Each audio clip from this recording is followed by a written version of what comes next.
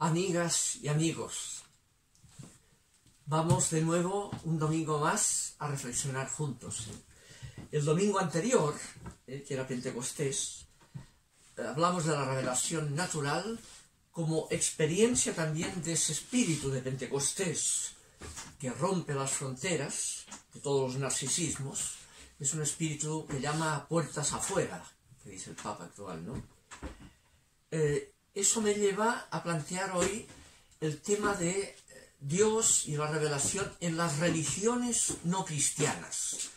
Un tema importante para el diálogo interreligioso.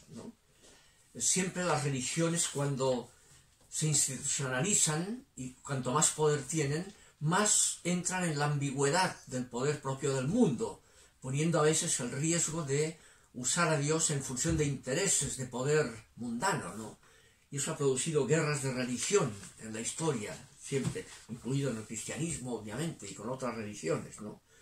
Eh, en la religión cristiana ya eh, el riesgo, la ambigüedad de la religión está en el famoso texto de Mateo de la tentación que le hace Satán a Jesús, ¿no? La segunda tentación lo lleva arriba del pináculo del templo y le dice, tírate abajo, exhibe que Dios está contigo, vendrán los ángeles y te ampararán, y Dios rechaza esa tentación, Jesús, y dice, no tentarás al Señor tu Dios. Cuidado con la religión. No usen a Dios por vanidad. Eso es pecado contra el primer mandamiento, ¿no? Puede ser la religión, ¿no? Eh, el mismo Jesús en el Evangelio aparece en San Juan, ¿no? Cuando una mujer que es de otra religión, samaritana, le plantea, bueno, cuando venga el Mesías nos dirá quién tiene razón, si los judíos con su religión y con el culto en el templo de Jerusalén, o los samaritanos en Garitzim, ¿no? Y Jesús le dice, mira, no es ni Garitzim ni Jerusalén. Dios es espíritu y quiere adoradores en espíritu de verdad, ¿ya?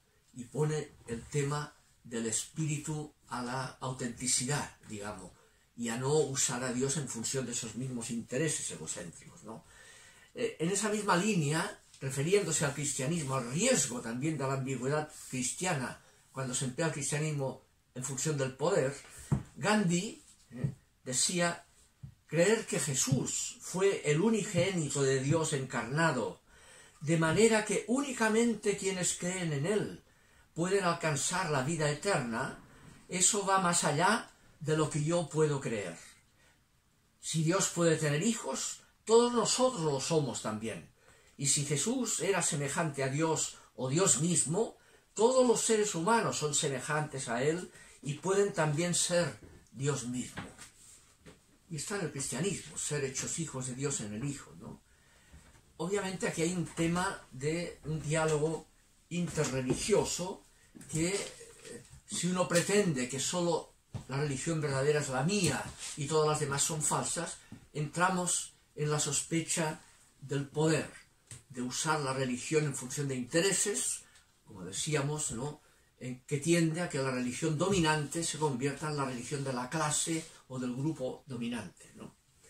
Ya que cité a Gandhi, veamos algún aspecto para ese diálogo interreligioso que viene precisamente del mundo del hinduismo, al cual remite Gandhi ¿no? y del cual forma parte. ¿no? El hinduismo primero partió 1500 años antes de Cristo con los textos védicos, ¿no? con un politeísmo en función de fundar en los dioses los intereses de las propias realidades mundanas, ¿no? Lo que entendemos siempre, ¿no? La propia raza más que otra, el propio sexo más que otro, la propia familia más que otro, ese tema con la sospecha narcisista siempre, ¿no? Y ahí evolucionó ese politeísmo hacia el hinduismo brahmánico, ya en el siglo VI antes de Cristo y un poco antes, ¿no? Que gracias a los textos metafísicos, los Upanishads que se llaman, llegan ya a un concepto de la unidad del absoluto divino. Dios es uno solo, hay una sola realidad absoluta. el texto del Upanishad, aquel, llama así, el innombrable, ¿no? el absoluto, aquel es conocido por quien cree no poder conocerlo. Quien cree conocerlo, en verdad no lo conoce.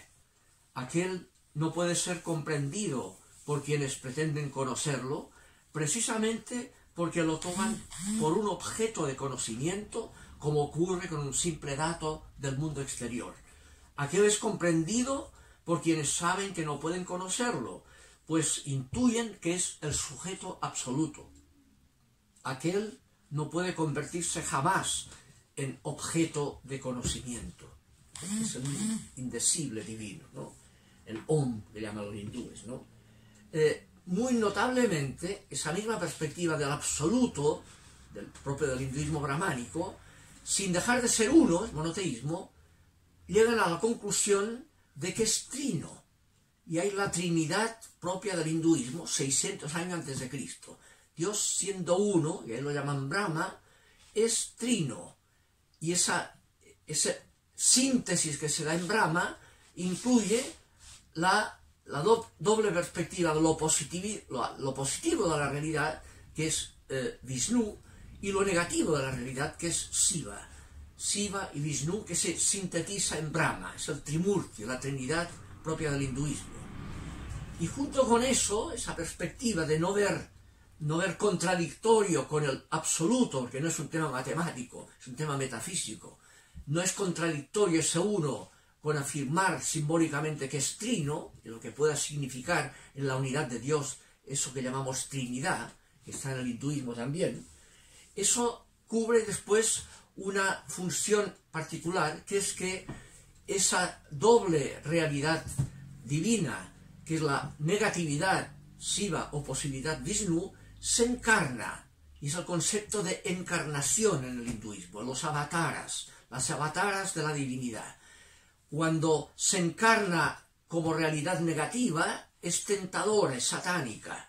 Es para tentar, para ayudarte a que tú no caigas en la tentación, para eh, fortalecerte, ¿no?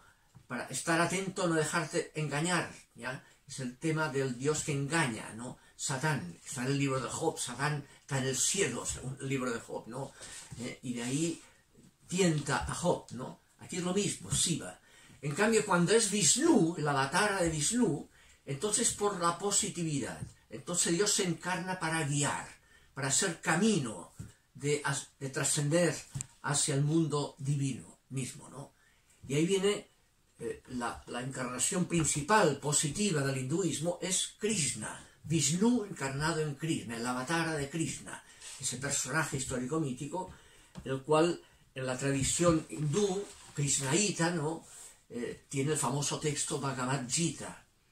Eh, Gandhi era un gran krishnaita y él tradujo el Bhagavad Gita al inglés y, en Occidente entró gracias a la traducción que había hecho Gandhi.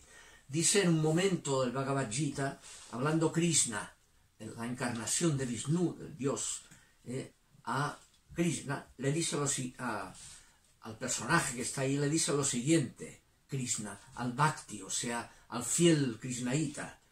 Por el amor, el fiel Bhakti me conoce verdaderamente quién soy y qué soy, y cuando me conoce de verdad se adentra en mi ser. En cuanta acción realiza, haya refugio en mí, alcanzando entonces por mi gracia el hogar imperecedero de la eternidad. Pues si tu alma descansa en mí, superarás todos los peligros por mi gracia. Pero si tus pensamientos se centran en ti y no escuchas, podrías perecer. Dios mora en los corazones de todos los seres.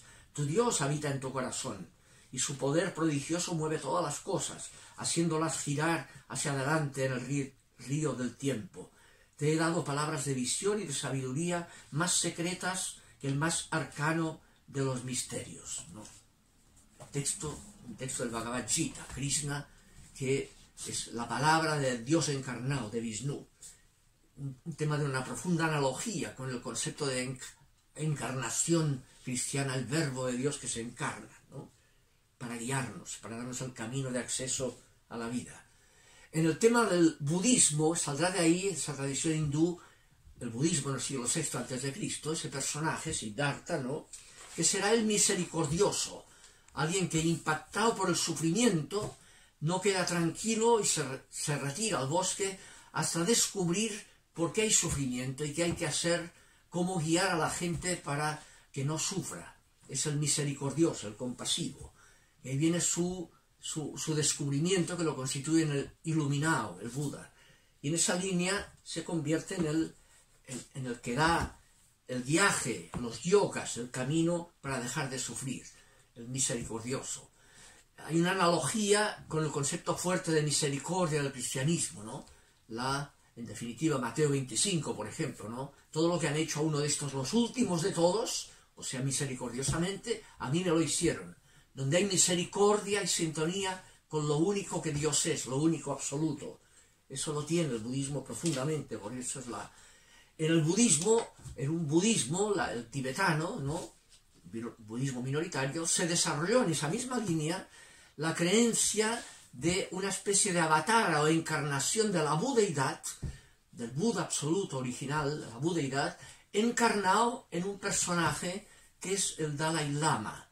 El Dalai Lama es la encarnación, el avatar de la budeidad, que se encarna compasivamente para guiar, para ayudar al ser humano a, eh, a, no sufrir misericordiosamente, es el compasivo, ¿ya? Y ese es el concepto de Dalai Lama, ¿no? Eh, fíjense lo que dijo en un momento determinado el mismo Dalai Lama, el, que tiene que ver con el tema interreligioso, dijo, si fueses budista, mientras procures practicar la compasión, realzar o no la figura de Buda, no resulta tan importante.